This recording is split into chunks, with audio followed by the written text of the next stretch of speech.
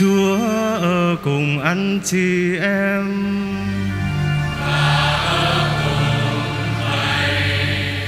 Tin mừng Chúa Giêsu Kitô theo Thánh Gioan.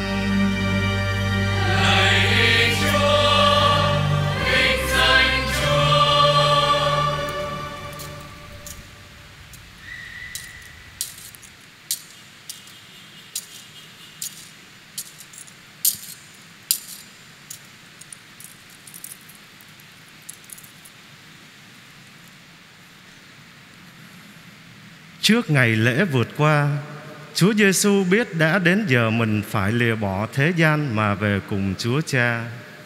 Người vốn yêu thương những kẻ thuộc về mình còn đang ở thế gian thì đã yêu thương họ đến cùng. Sau bữa tối, ma quỷ gieo vào lòng Judas Iscariot, con Simon ý định nộp người. Người biết rằng Chúa Cha đã trao phó mọi sự trong tay người và người bởi Thiên Chúa mà đến và sẽ trở về cùng Thiên Chúa. Người trỗi dậy, cởi áo, lấy khăn thắt lưng rồi đổ nước vào chậu. Người liền rửa chân cho các môn đệ và lấy khăn thắt lưng mà lau. Vậy, người đến chỗ Simon Phêrô, ông này thưa người rằng: "Lạy thầy, thầy định rửa chân cho con ư?" Chúa Giêsu đáp: Việc thầy làm bây giờ con chưa hiểu, Nhưng sau sẽ hiểu. Phêrô thưa lại, Không đời nào thầy sẽ rửa chân cho con. Chúa Giêsu bảo, Nếu thầy không rửa chân cho con Con sẽ không được dự phần với thầy. Simon Phêrô liền thưa, Lạy thầy, Xin thầy hãy rửa Không những chân con Mà cả tay và đầu nữa. Chúa Giêsu nói Kẻ mới tắm rồi chỉ cần rửa chân, Vì cả mình đã sạch. Tuy các con đã sạch, Nhưng không phải hết thảy đâu. Vì người biết ai sẽ nộp người Nên mới nói, Không phải hết thảy các con đều sạch đâu. Sau khi đã rửa chân cho các ông, Người mặc áo lại, Và khi đã trở về chỗ cũ, Người nói, Các con có hiểu biết việc thầy vừa làm cho các con chăng? Các con gọi ta là Thầy, Và là Chúa thì phải lắm. Vì đúng thật Thầy như thế. Vậy, nếu ta là Chúa và là Thầy, Mà còn rửa chân cho các con, Thì các con cũng phải rửa chân cho nhau. Vì Thầy đã làm gương cho các con, Để các con cũng bắt chước Mà làm như Thầy đã làm cho các con. Đó là lời Chúa.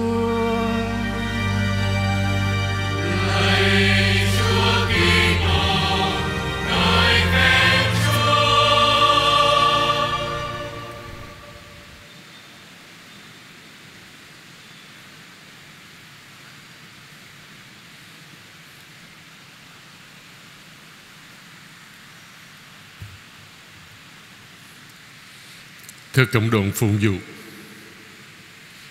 Chúa Kitô hoàn tất công trình cứu chuộc nhân loại và tôn vinh Thiên Chúa một cách hoàn hảo, nhất là nhờ mầu nhiệm vượt qua của người. Nhờ đó người đã chết để tiêu diệt sự chết của chúng ta và sống lại để khôi phục sự sống cho chúng ta. Vì thế, Tam Nhật vượt qua nhằm tưởng niệm cuộc thương có và phục sinh của Chúa sáng chói lên như tột đỉnh của năm phụng vụ Tam Nhật vượt qua gồm thứ sáu, thứ bảy tuần thánh và Chúa Nhật phục sinh. Nhưng mà chúng ta bắt đầu Tam Nhật vượt qua vào chiều hôm nay thưa anh chị em trong thánh lễ tiệc ly. Bởi vì theo cái phụng vụ đó, thì chiều ngày hôm trước đó, sau giờ kinh chiều là bắt đầu ngày mới rồi. Nha. Thưa anh chị em, Tiệc ly là bữa ăn cuối cùng Chúa Giêsu đã dùng với các môn đệ Trước khi người từ biệt các ông để bắt đầu bước vào cuộc thương khó. Các tác giả tin mừng đều kể lại bữa tiệc diễn ra trong bầu khí lễ vượt qua của người Do Thái.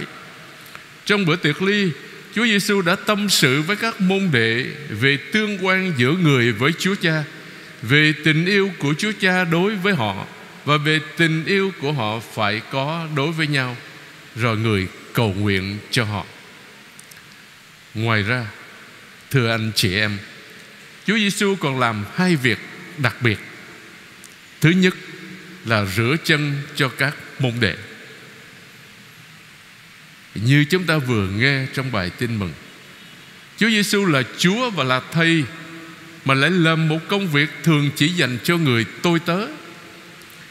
Cử chỉ đó diễn tả một cách cụ thể ý hướng cuộc đời của người. Con người đến không phải để được người ta phục vụ, Nhưng là để phục vụ và hiến dân mạng sống làm giá chuộc muôn người. Thứ hai Chúa Giêsu lập bí tích thánh thể Chúa Giêsu đã dùng bánh và rượu nho để làm dấu chỉ cho sự hiện diện mới của người từ nay cho đến tận thế. Cùng với việc lập bí tích thánh thể mà chúng ta nghe trong bài đọc 2, Chúa Giêsu đã lập ra chức linh mục thừa tác để ban cho các tông đồ quyền được cử hành bí tích này. Anh em hãy làm việc này mà tưởng nhớ đến Thầy. Mời anh chị em chúng ta dừng lại một chút Để suy niệm về bí tích thánh thể. Thưa anh chị em Bí tích thánh thể là trung tâm Và là tột đỉnh của đời sống hội thánh. Vì trong, vì trong bí tích này Đức Kitô liên kết hội thánh với tất cả các chi thể của người vào hy tế chúc tụng và tạ ơn được dâng lên Chúa Cha trên thập giá một lần cho mãi mãi. Qua hy tế này, Người tuôn đổ các ân sủng cứu độ Trên thân thể của người là hội thánh. Tất nhiên, cho tất cả các thành viên của đại gia đình hội thánh là chúng ta, Thưa anh chị em. Bí tích thánh thể là bí tích tình yêu, Thưa anh chị em. Khi mà chúng ta tham dự bí tích thánh thể, Tức là cử hành thánh lễ đó thì tất cả chúng ta đều bình đẳng trước mặt Chúa hết. Giàu nghèo, địa vị nào trong xã hội, học thức hay là bình dân, tất cả đều giống nhau trước mặt Chúa. Nha. Ở trong bí tích thánh thể, trong bí tích thánh thể, nếu các bí tích khác ban cho chúng ta ơn Chúa, thì bí tích thánh thể ban cho chúng ta chính Chúa Giêsu thưa anh chị em và khi chúng ta lãnh nhận bí tích thánh tẩy đó, thì chúng ta được ban ơn đức tin. Và đức tin đó là một sự sống. Bình thường nếu chúng ta không ăn, không uống Thì chúng ta sẽ chết. Thì đức tin cũng phải được nuôi dưỡng đúng mức. Thì đức tin đó mới tăng trưởng đến độ trưởng thành cần thiết. Và cái tương thực thiên liêng cao quý Để nuôi dưỡng đời sống đức tin của mọi người chúng ta, Đó là lời Chúa Và mình máu Thánh Chúa, Thưa anh chị em. Thánh Augustino, Khi suy niệm về bí tích thánh thể, Người đã thốt lên, Ôi bí tích tình yêu, Ôi dấu chỉ hợp nhất, Ôi mỗi giây bác ái, Thưa anh chị em. Do đó để làm thế nào mà khi chúng ta bước vào trong nhà thờ Để cho cử hành thánh lễ, Để cử hành bí tích thánh thể đó, Thì chúng ta bỏ tất cả những cái gì nó bất hòa, Những cái ghen ghét, Những cái hận thù ở phía ngoài nhà thờ. Đi vào nhà thờ tham dự bí tích tình yêu, Thì chúng ta phải có lòng bác ái yêu thương, Thưa anh chị em. Đó là điều cần thiết lắm. Ừ. Bí tích thánh thể, thưa anh chị em, Đòi hỏi mỗi người Kitô hữu chúng ta Phải dấn thân cho người nghèo.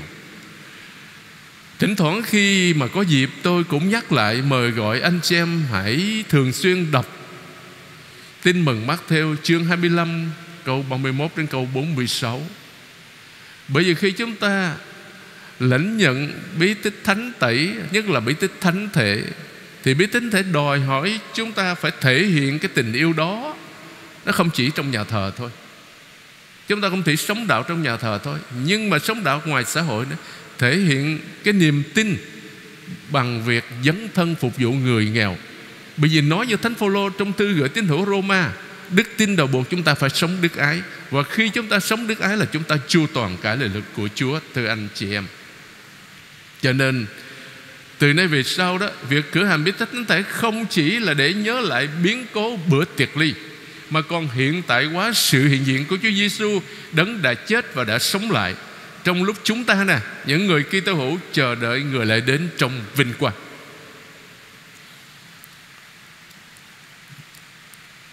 Cái điểm thứ ba. Chúa Giêsu rửa chân cho các môn đệ. Là nêu gương phục vụ cho mỗi người chúng ta, thưa anh chị em. Chúng ta nhớ lại lời Chúa Giêsu nói với các môn đệ. Con người đến không phải để được người ta phục vụ, Nhưng là để phục và hiến dân mạng sống làm giá chuộc muôn người. Và lời Chúa Giêsu nói với các môn đệ Trước cuộc tương khó, Mọi người sẽ nhận biết anh em là môn đệ của Thầy ở điểm này Là anh em có lòng yêu thương nhau từ anh chị em. Ở đây, tôi muốn kể cho anh chị em nghe hai cái câu chuyện ngắn thôi.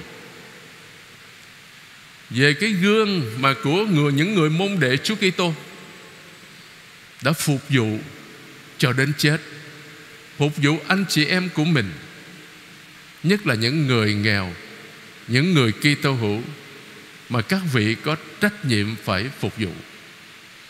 Thứ nhất là thánh Oscar Romero.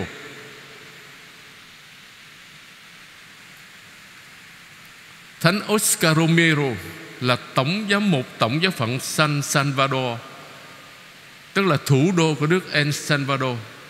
Đây là vị giám mục của người nghèo, thưa anh chị em chiều ngày 24 tháng 3 năm 1980 Đức cha Romero cử hành thánh lễ cầu hồn cho thân mẫu của người bạn của Ngài.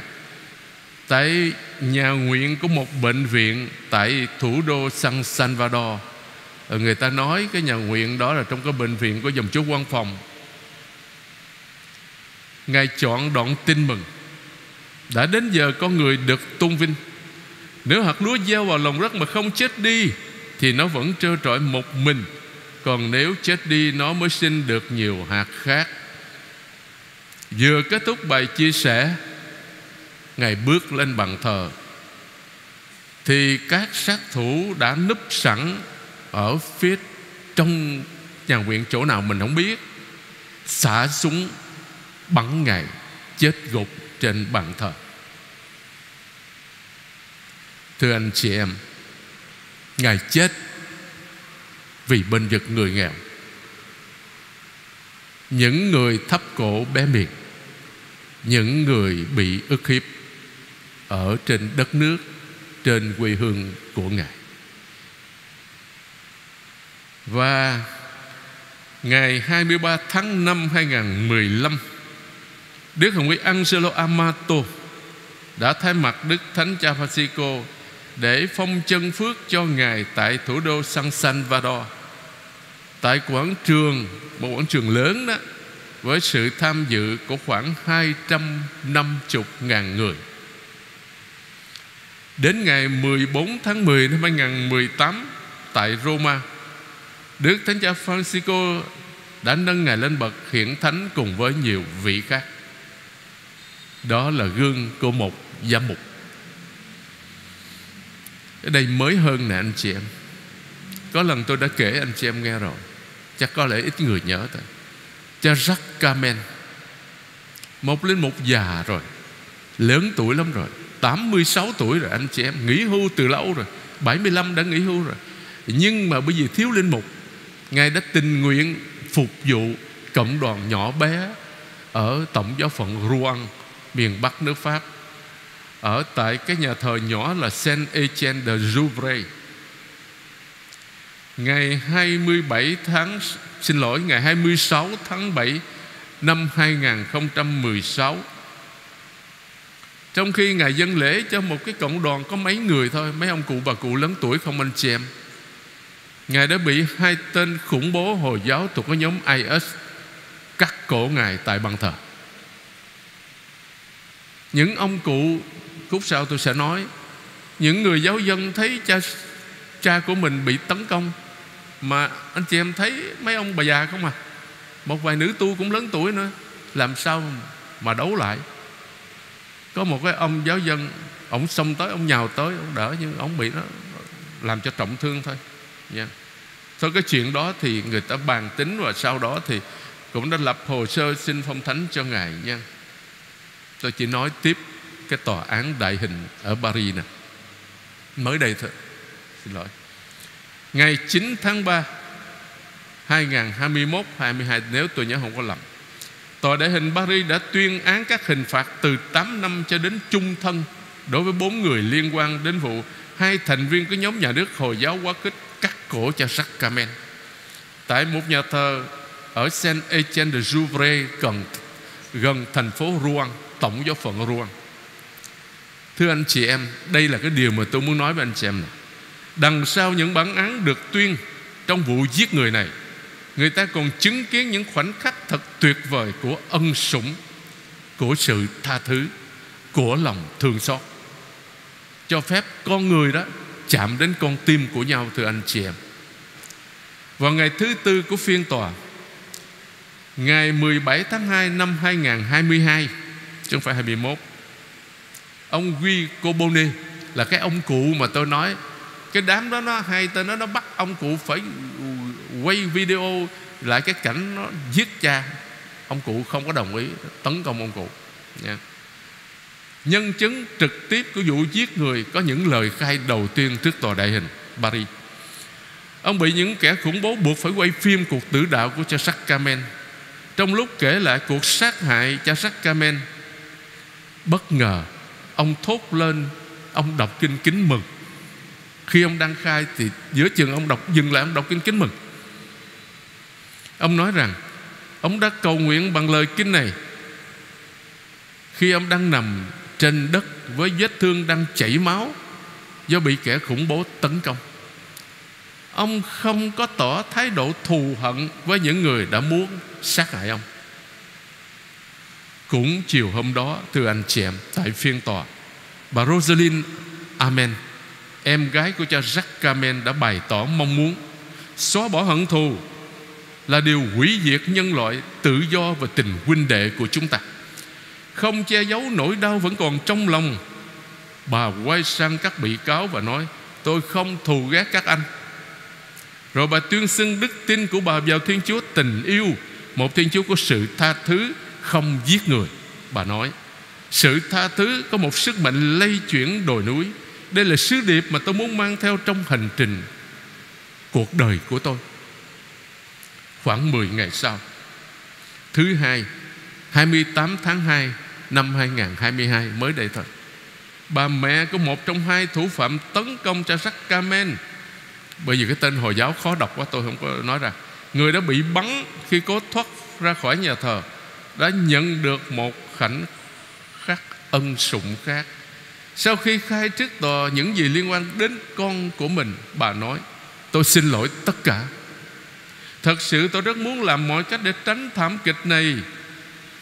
Bà đau khổ, Sau đó bà trở về chỗ ngồi Với gương mặt buồn rầu Và đau khổ. Lúc đó đó bà Rosalind Amen đó Là em gái của cha Sacrament Đi đến ngồi kế bên mẹ của kẻ sát nhân như là một người thân trong gia đình Để an ủi người mẹ Có đứa con là kẻ sát nhân này. Luật sư Mehana Muhu Làm chứng rằng tại phiên tòa, Không có ai ở trong đó mang cái lòng hận thù Hay muốn báo thù hết, Thưa anh chị em.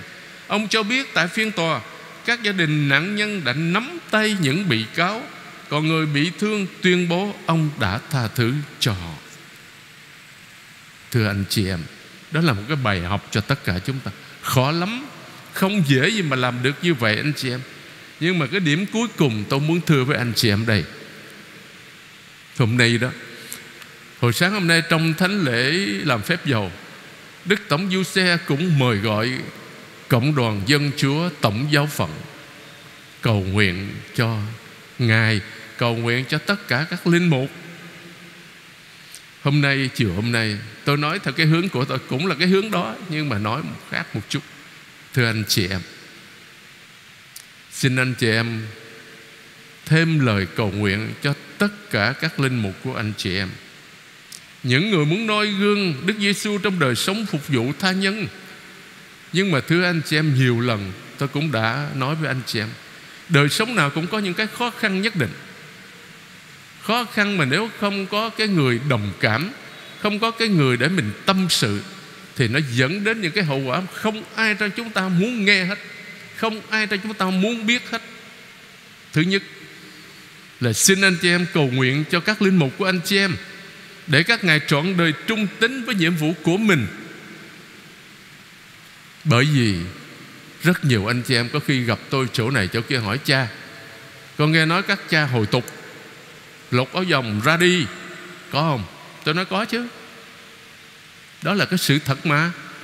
Bởi vì khi làm linh mục không có ai bắt buộc mình phải làm hết. Làm linh mục đó là tự nguyện và được đào tạo. Và sau khi mà bề trên, bà nhau thấy có đủ điều kiện thì mới tiến đó là cái tự nguyện. Không có ai bắt buộc anh phải làm linh mục hết. Khi nào anh thấy mà anh, cái đời sống linh mục không hợp, anh có thể ra đi. Sau khi bề trên bạn bè để khuyên nhủ thì cái đó, cái tự do của mỗi người. Nhưng mà đối với người Việt Nam chúng mình đó đó là một cái gương xấu lớn anh chị em. Thử một cái gia đình nào mà có con làm linh mục mà ông linh mục đó, ông bỏ, ông xuất ra coi. Cha mẹ đau khổ và xấu hổ biết chừng nào. Nhưng mà trong thực tế, có. Ở Việt Nam mình cũng có nhưng mà ít hơn. Ở bên nước ngoài nhiều hơn anh chị em. Cho nên để mà có thể đi chọn con đường mình đã chọn đó, là không có dễ dàng đâu bởi vì con đường các linh mục đi là con đường thập giá. Chứ không phải là cái con đường trải toàn qua hồng đâu. Yeah. thứ hai, có lần tôi cũng có nói anh chị em. Nhưng mà tôi nói cái điều mà chính tôi cũng không muốn nói, và anh chị em cũng không muốn nghe đó. Thực sự là như vậy. Đặt xin cho các linh mục của anh chị em đặt chọn niềm tin vào Chúa giữa muôn vàng sóng gió của cuộc đời tận hiến của mình nếu không đặt trọn niềm tin vào Chúa, nếu không tìm được một cái người bạn có thể chia sẻ với mình, thì dẫn đến cái gì? Tự tử. Chúng ta nghe các linh mục tự tử, chúng ta khó chịu lắm. Bây giờ ai trong chúng ta cũng biết Chúa cấm tự tử, nhưng mà trong thực tế, có những linh mục đã tự tử. Và cái điều mà tôi xin anh chị em đó, Đừng có để cho anh chị em, Cái người nào trong anh chị em làm cái cớ Cho các linh mục phải tự tử. Là cái nguyên nhân dẫn đến sự tự tử của các linh mục. Năm ngoái hay năm kia gì đó, Ở bên Pháp, Trong vòng một tháng anh chị em, Ở hai giáo phận khác nhau, Hai linh mục trẻ 35-36 tuổi Treo cổ tự tử. Sau khi ai đó tố cáo cái gì đó, Giám mục mời lên Về là tự tử luôn. Ở Việt Nam mình có không? Có chứ. Tôi không có nói rõ chỗ nào, Nhưng mà trong một giáo phận, Hai linh, một của, treo cổ tự tử, Đau khổ biết chừng nào. Nghĩa là bế tắc không có giải tỏa được anh chị em. Nhiều khi người ta trách linh mục này, Linh mục kia, linh mục nọ. Thật sự đó, Trách thì dễ lắm. Nhưng mà cầu nguyện Và cái điều cuối cùng tôi muốn nói với anh chị em. Xin anh chị em nâng đỡ hàng giáo sĩ. Lời cầu nguyện là quan trọng. Cách này cách khác. Nhất là các linh mục yếu đau, Bệnh tật Hưu dưỡng. Cái tuổi già anh chị em, Cái mà sợ nhất của các cha nghỉ hưu là cái gì? Là sự cô đơn. Anh chị em ở ngoài có khi còn có con, có cháu này, Nhưng mà nhiều khi chính những anh, ông bà, anh chị em cô đơn trong chính gia đình của mình. Nhưng mà các linh mục là độc thân. Tuổi già là cái gì? Đau yếu bệnh tật và có cảm tưởng mình bị bỏ rơi. Nhưng mà trong thực tế, tôi chưa thấy có linh mục nào mà nghỉ hưu già yếu mà tự tử hết. Nhiều khi tự tử là những linh mục trẻ. Cho nên, trong thánh lễ chiều hôm nay, Tôi muốn gợi lại một số điều đó Để xin anh chị em Ngày hôm nay là ngày Chúa Giêsu thiết lập chức linh mục này. Xin anh chị em Cầu nguyện cho tất cả các linh mục của anh chị em.